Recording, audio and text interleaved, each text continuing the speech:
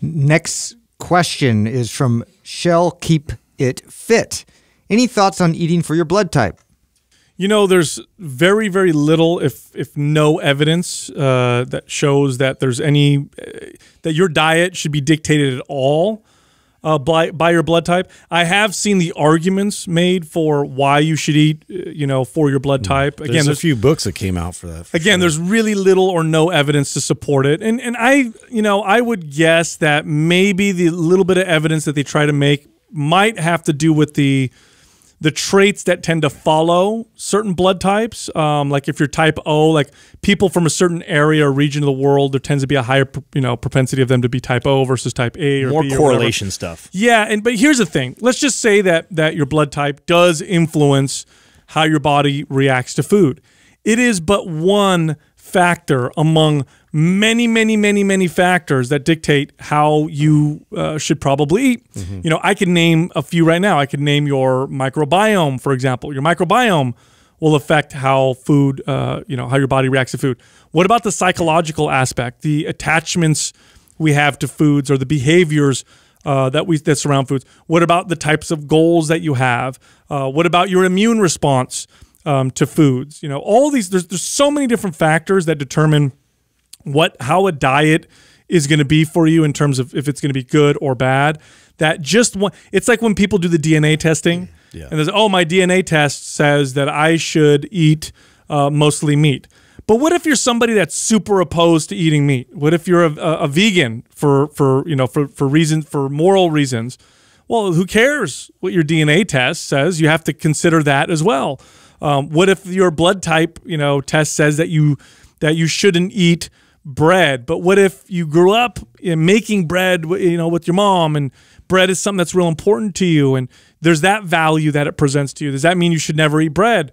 Well, no. There's lots and lots of different factors that determine uh, how food affects you.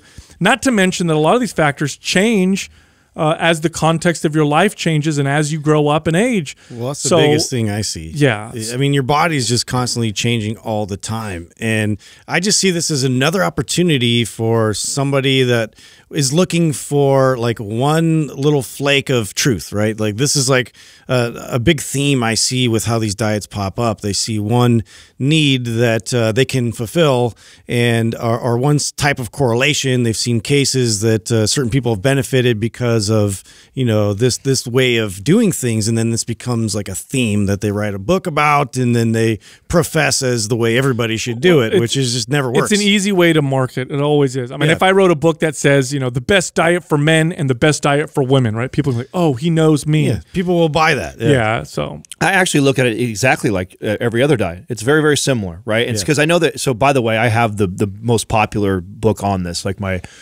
uh, old roommate came uh, came to me because he did it and was like, "Oh my god, it's been such a game changer for me." Because he got because he ate a healthy diet. All well, and here's the thing, right? And he, well, he was, you know, in his defense, he was actually a, a very healthy eater already. He just made the adjustments and changed and followed the protocol that it gave him. But what I tried to explain to him is that this is no different when a client comes to me and goes, Adam, my girlfriend is running the paleo diet and I started doing it and holy crap, I feel so much better. I lost all this weight. That is that's the diet for me. It's like, okay, hold on, let's unpack this a little bit.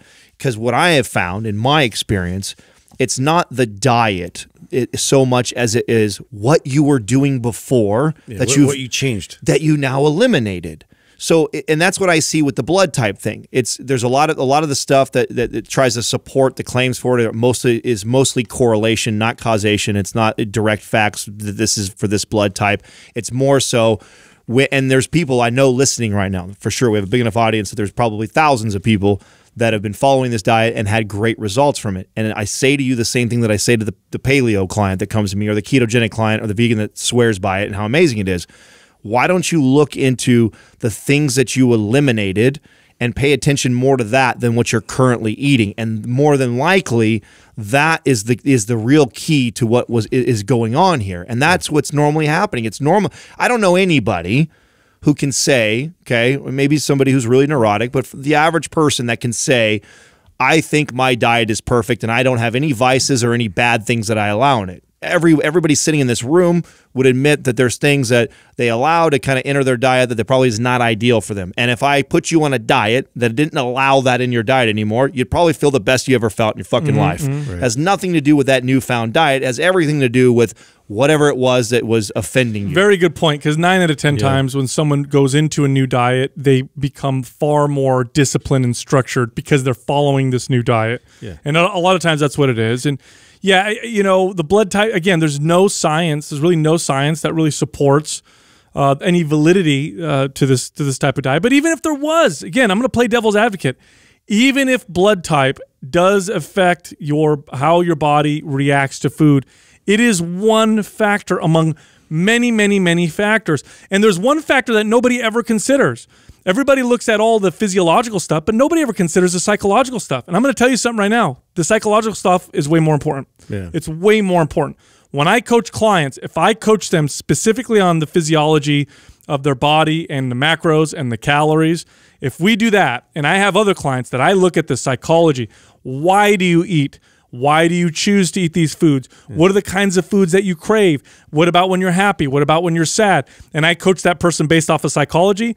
The one that I work with psychology and behaviors, their odds of long-term success are far, far higher yeah. than the physiological ones. Is far, this far higher. sustainable? Right. Like that, I always have to ask that question before we make any kind of radical shift. Like, look at that ahead of time. Is this sustainable? And then look and see what you're eliminating, what you're replacing, and what that does, and how you feel. Do you guys remember making that switch with your clients when you stopped looking at all the calories and macros and all that stuff so much and you started talking about behaviors? Oh, yeah. It was like Massive, uh, Oh, difference. it's like oh, it's like a whole new universe. Yeah.